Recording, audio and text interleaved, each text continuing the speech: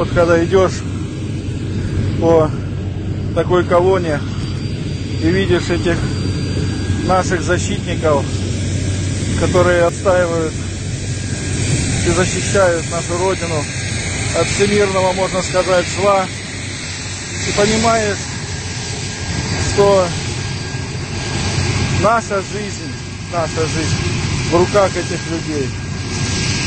И, конечно же, желаешь этим людям, чтобы они были живы, здоровы, чтобы Господь их хранил, Христос. Я только сейчас увидел, как люди с жадностью хватали флаги Спаса и говорили, дайте нам, дайте нам, пожалуйста. Но слава Богу, нам всем хватило их раздать.